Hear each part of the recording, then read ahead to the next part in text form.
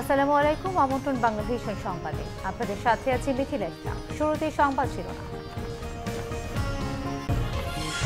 EVM শতভাগ নির্ভুল না হলেও কারসাজের সুযোগ নেই। অভিমত বিশিষ্টজনদের কারিগরি দিক দেখতে রাজনৈতিক দলগুলোকে আমন্ত্রণ জানানো হবে, বলেছেন সিইসি।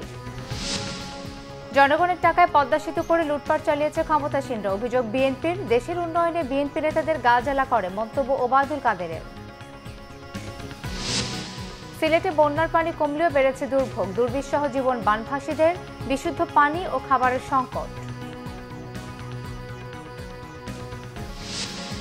বিদেশি ছয়টি জাহাজ থেকে পৌনে তিন লাখ টনেরও বেশি গম খালাস হচ্ছে চট্টগ্রাম বন্দরে। স্বস্তি ফিরবে বাজারে অভিমত সংশ্লিষ্টদের।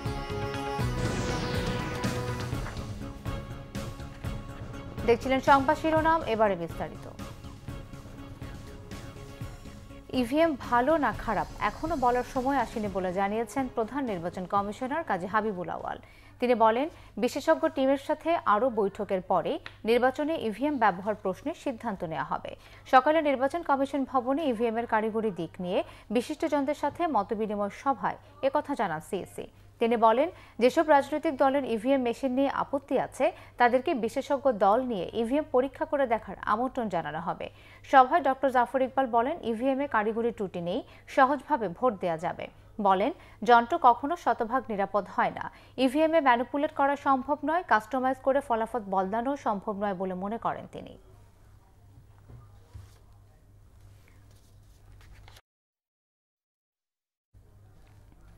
বিএনপি মহাসচিব মির্জা ফখরুল ইসলাম আলমগীরের অভিযোগ, অন্যায় দুঃশাসন দেশকে গ্রাস করেছে। অবস্থার পরিবর্তনে আন্দোলনের বিকল্প নেই বলে জানান তিনি। জনগণের টাকায় পদ্মা সেতু নির্মাণ করে ক্ষমতাসীনরা লুটপাট চালিয়েছে বলে মন্তব্য করেন বিরোধী নেতারা।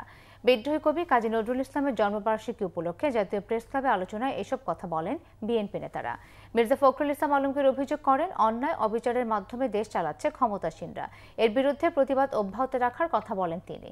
এদিকে বিএনপি চেয়ারপারসন বেগম খালেদা জিয়া ও নোবেল বিজয়ী অর্থনীতিবিদ ডক্টর মোহাম্মদ ইউনুসের বিরুদ্ধে কটূক্তির প্রতিবাদে জাতীয় প্রেস ক্লাবের সামনে মানববন্ধন করে জাতীয়তাবাদী মুক্তিযোদ্ধা দল। পদ্মা সেতু নির্মাণে ক্ষমতাসীনরা লুটপাট চালিয়েছে বলে অভিযোগ করেন বিএনপি নেতারা। ঢাকা বিশ্ববিদ্যালয়ের ছাত্রদলের নেতাকর্মীদের উপর হামলার নিন্দাও জানান তারা।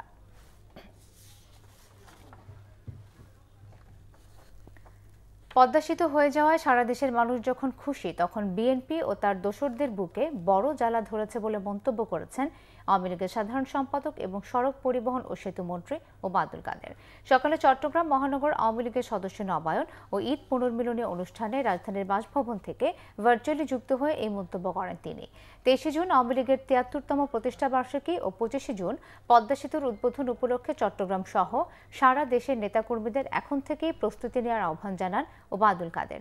তিনি বলেন, পদ্মার দু পার সহ সারা বাংলাদেশে আজ আনন্দের ফোয়ারা জনগণের মাঝে বিরাজ করছে। বিরাজ করছে সাজ সাজ রব। তিনি বলেন, পদ্মা সেতু হয়ে গেছে, এখন শুধু উদ্বোধনের অপেক্ষা। তাই বিএনপি ও তাদের দোসরদের বুকে বড় জ্বালা।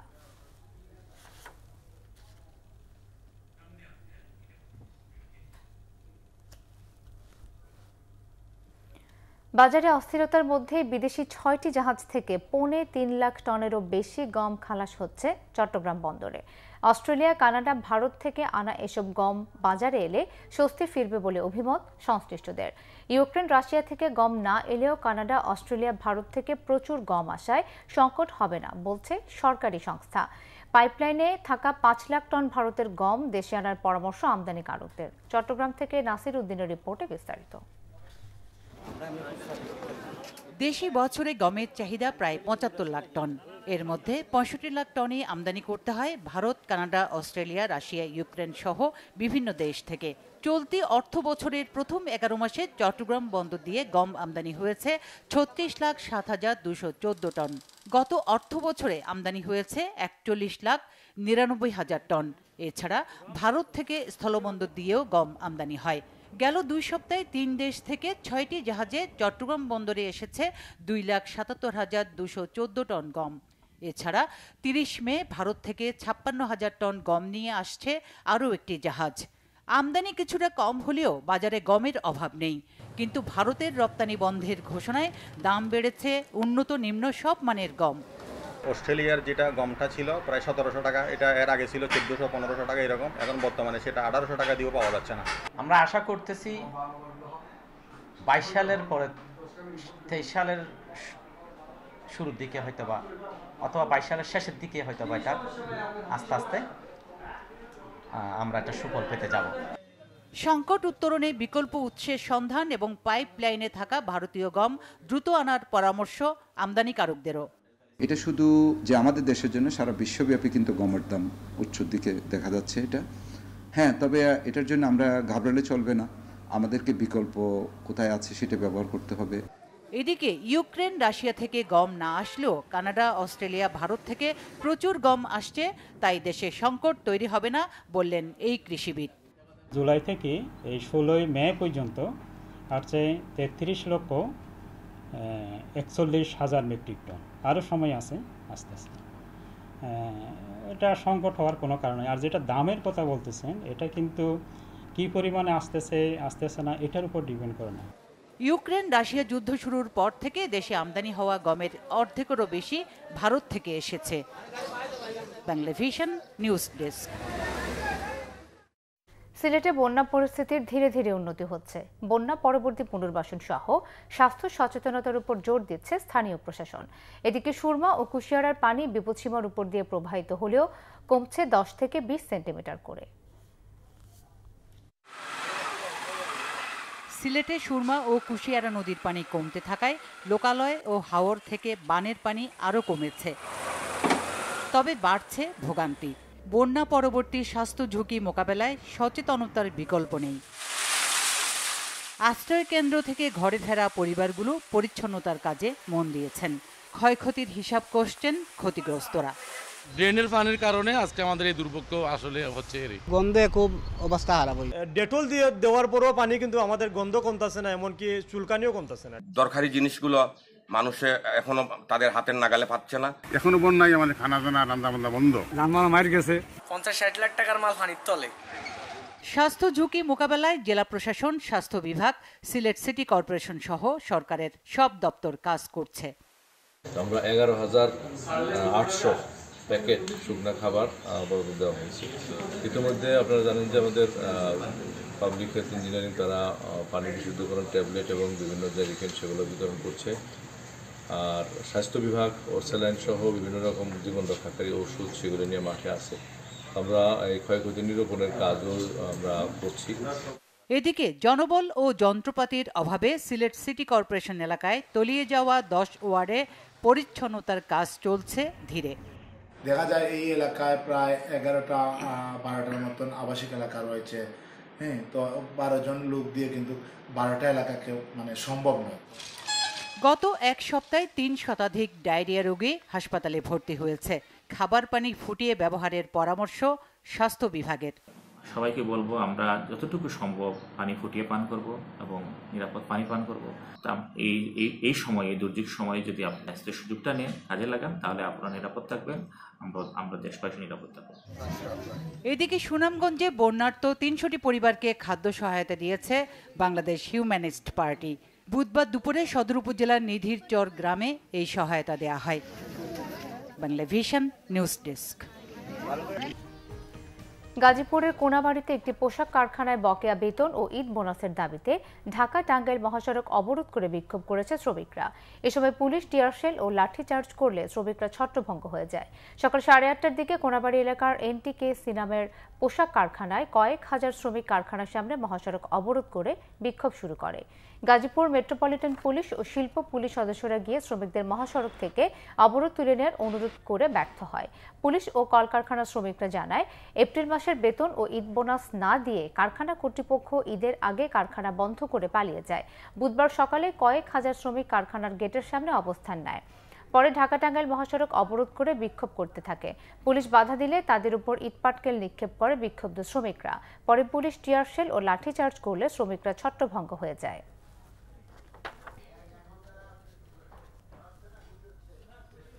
কিছুদিনের মধ্যেই বাজারে আসছে হাড়ি ভাঙা আম। আবহাওয়ার কারণে এবছর হাড়ি ভাঙার ফলন কম হলেও সব মিলিয়ে পৌনে পাঁচশো কোটি টাকার আম বিক্রির আশা সংশ্লিষ্টদের। পরীক্ষামূলকভাবে চাষ হচ্ছে আরও দুটি নতুন জাত। শাহনুয়াল জনের ক্যামেরায় রংপুর থেকে জুয়েল আহমেদের রিপোর্ট। গাছে গাছে দুলছে হাড়িভাঙা আম। ছোট বড় আম বাগানে ভরে গেছে গ্রামগুলো। গেল পনেরো বছরে হাড়িভাঙ্গা দখল করেছে দেশের উত্তরাঞ্চলের বিস্তীর্ণ এলাকা। স্বাদ গন্ধে অতুলনীয় এই আম পরিচিতি পেয়েছে গোটা দেশে। পরিণত হয়েছে কৃষকের অর্থকারী ফসলে। হাড়িভাঙ্গা অত্তর এলাকার অর্থনৈতিক উন্নয়নে ব্যাপক পরিবর্তন এনেছে। ধানে যে পরিমাণ লাভটা আসে আমেও ততটুকু লাভ আসে। রংপুর জেলার মিঠাপুকুর বদরগঞ্জ ও সদর উপজেলায় গড়ে উঠেছে কয়েকশো বাগান। আমগুলো গুণে মানেও বেশ। হাড়িভাঙ্গা আমের সহনীয় ক্ষমতা কম বলে সংরক্ষণ নিয়ে দুশ্চিন্তা চাষি। তাই বিকল্প হিসেবে ব্যানানা ম্যাঙ্গো গৌরমতি সহ বাড়ির চার জাতের আম চাষ শুরু করেছেন তারা।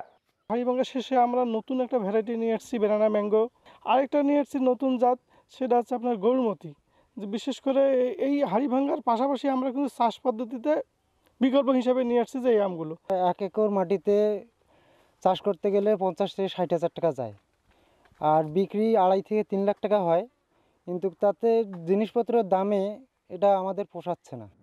আবহাওয়ার কারণে এবার এ জাতের আমের ফলন বেশ কম তাই পরিপক্ক হওয়ার পর যাতে বাজারজাত করা হয় তা নিশ্চিত করতে চায় প্রশাসন। হাড়িভাঙা যেগুলি গতবারের তুলনায় ফলন এবার সব আমই কম যেহেতু এবার অফ সিজন আমের নেচারই এরকম এক বছর অফ আর এক বছর অন মানে যে যে ডালটা এবারে আম দেবে আগামী বছর ওই ডালটায় আম হবে না। জুনের বিশ তারিখ থেকে বাজারজাত করা হবে। আমাদের এখানে এই আমের সাথে অনেকে অনলাইন বিজনেস করে, আমাদের সরাসরি ক্রয় করে বা এখান থেকে ঢাকা থেকে পাইকারিরা নেয়। তো এটা কৃষি বিপণনকে দায়িত্ব দেওয়া হয়েছে। রংপুর কৃষি অঞ্চলের পাঁচ জেলায় যে সাত হাজার দুশো চল্লিশ হেক্টর আম চাষের মধ্যে হাড়িভাঙ্গা চার হাজার, উৎপাদন ধরা হয়েছে তিরানব্বই হাজার টন, প্রায় দুশো বত্রিশ কোটি টাকার হাড়িভাঙ্গা আম বিক্রি হবে বলে আশা সংশ্লিষ্টদের। জুয়েল আহমেদ, বাংলা ভিশন মিঠাপুকুর রংপুর। বাগেরহাটে ঈদ বোঝাই ট্রলির ধাক্কায় নারী সহ দুজন নিহত হয়েছে। বুধবার সকাল সাড়ে নয়টায় বাগেরহাট পিরোজপুর মহাসড়কের দড়া টানা সেতুর ঢালে চিংড়ি গবেষণা কেন্দ্রের সামনে এই দুর্ঘটনা ঘটে। পুলিশ জানায়, নিহত রেশমি বেগম বাগেরহাট সদর উপজেলার সুন্দরঘোনা গ্রামের বাসিন্দা। দুর্ঘটনায় নিহত আরেকজনের পরিচয় পাওয়া যায়নি। বাগেরহাট থেকে আসা ঈদ বোঝাই ট্রলি বিপরীত দিক থেকে আসা একটি যাত্রীবাহী ভ্যানকে ধাক্কা দিলে ঘটনাস্থলে নিহত হয় রেশমি বেগম। এ সময় আহত দুজনকে উদ্ধার করে হাসপাতালে নেওয়া হলে একজন মারা যায় দেশের বিভিন্ন জায়গার আরও কিছু খবর নেই একটি ডেস্ক রিপোর্ট। ঠাকুরগাঁয়ের পৌর আওয়ামী লীগের নবগঠিত পূর্ণাঙ্গ কমিটির পরিচিতি সভা হয়েছে। এতে আওয়ামী লীগের প্রেসিডিয়াম সদস্য রমেশ চন্দ্র সেন বলেছেন সরকারকে ক্ষমতাচ্যুত করতে দেশ বিদেশে গভীর ষড়যন্ত্র করছে বিএনপি জামায়াত সহ স্বাধীনতা বিরোধীরা। ইউনিয়ন যুবলীগের সম্মেলন হয়েছে মাগুরায়। সদর উপজেলার চাউলিয়া, বগিয়া, জগদল ও কোচন্দি এই চারটি ইউনিয়নের সম্মেলন চাউলিয়া ইউনিয়ন পরিষদ চত্বরে অনুষ্ঠিত হয়। এতে প্রধান অতিথি ছিলেন জেলা আওয়ামী লীগের সভাপতি আফম আব্দুল ফাত্তা রাঙামাটি পার্বত্য জেলা পরিষদের সদস্য, কর্মকর্তা এবং হস্তান্তরিত বিভাগের কর্মকর্তাদের সাথে পার্বত্য চট্টগ্রাম বিষয়ক মন্ত্রণালয়ের মন্ত্রীর সাথে মতবিনিময়ের সভা হয়েছে। পার্বত্য জেলা পরিষদ ভবনে এই সভা হয়। সাতক্ষীরা সরকারি কলেজ রোড সহ পৌরসভার বিভিন্ন সড়ক সংস্কার, ড্রেনেজ ব্যবস্থার উন্নয়ন ও জলাবদ্ধতা নিরসনের দাবিতে বিক্ষোভ সমাবেশ হয়েছে। এতে বক্তারা অবিলম্বে দাবি মেনে নেওয়া না হলে কঠোর কর্মসূচির হুঁশিয়ারি দেন। জয়পুরহাটে আগামী চার জুন এক লাখ চল্লিশ হাজার চারশো ছিচল্লিশ জন শিশুকে ভিটামিন এ ক্যাপসুল খাওয়ানো হবে। জেলা সিভিল সার্জন অফিসের সভাকক্ষে সাংবাদিকদের সাথে কর্মশালায় এ তথ্য জানান civil surgeon doctor Wajed Ali. Zinc সমৃদ্ধ ধানের ও চাল ব্যবসায়ীদের সঙ্গে বাজারজাতকরণ শীর্ষক এক আলোচনা সভা হয়েছে সিরাজগঞ্জে। শহরের ইবি রোডে পৌর ভাসানী মিলনায়তনে এই সভা হয়। পশু খাদ্যের অস্বাভাবিক মূল্য বৃদ্ধির প্রতিবাদে ছয় দফা দাবিতে বিক্ষোভ ও প্রাণী সম্পদ অফিস ঘেরাও কর্মসূচি পালন করেছে রংপুর ডেইরি খামার অ্যাসোসিয়েশন। জেলা প্রেস ক্লাবের সামনে এই কর্মসূচিতে শত শত খামারি অংশ নেন। ময়মনসিংহের রাজমিস্ত্রি রফিকুল ইসলাম হত্যাকাণ্ডে জড়িতদের দৃষ্টান্তমূলক শাস্তির দাবিতে বিক্ষোভ মিছিল ও মানববন্ধন হয়েছে। মহানগরীর মাসকান্দা থেকে একটি বিক্ষোভ মিছিল বের করা হয়। শ্রমিক ও তাদের পরিবারের সদস্যদের সাথে আর্থিক অনুদানের চেক বিতরণ করা হয়েছে টাঙ্গাইলে। কলকারখানা ও প্রতিষ্ঠান পরিদর্শন অধিদপ্তরের উদ্যোগে জেলা প্রশাসকের সম্মেলন কক্ষে অনুষ্ঠানের আয়োজন করা হয়। সুরায় Rahman, Bangla Vision, news desk. সংবাদ শেষ করব শিরোনামগুলো আরও একবার জানিয়ে। ইভিএম শতভাগ নির্ভুল না হলেও কারসাজের সুযোগ নেই। অভিমত বিশিষ্ট বিশিষ্টজনদের কারিগরি দিক দেখতে রাজনৈতিক দলগুলোকে আমন্ত্রণ জানানো হবে, বলেছেন সিএসি জনগণের টাকায় পদ্মা সেতু করে লুটপাট চালিয়েছে ক্ষমতাসীনরা অভিযোগ বিএনপির, দেশের উন্নয়নে বিএনপি নেতাদের গা জ্বালা করে, মন্তব্য ওবায়দুল কাদেরের। সিলেটে বন্যার পানি কমলেও বেড়েছে দুর্ভোগ। দুর্বিষহ জীবন বানফাসীদের, বিশুদ্ধ পানি ও খাবারের সংকট। বিদেশি ছয়টি জাহাজ থেকে পৌনে তিন লাখ টনেরও বেশি গম খালাস হচ্ছে চট্টগ্রাম বন্দরে। স্বস্তি ফিরবে বাজারে অভিমত সংশ্লিষ্টদের। এই এখনকার মতো পরের সংবাদ সন্ধ্যা সাড়ে সাতটায়। দেখার আমন্ত্রণ রইল। এছাড়াও বাংলা ভিশন সংবাদের সংবাদ সংশ্লিষ্ট অনুষ্ঠান দেখতে ভিজিট করুন W W dot twenty four dot com ও Facebook dot com slash Bangla Vision নিউজে এবং সাবস্ক্রাইব করুন YouTube dot com slash Bangla Vision news ধন্যবাদ।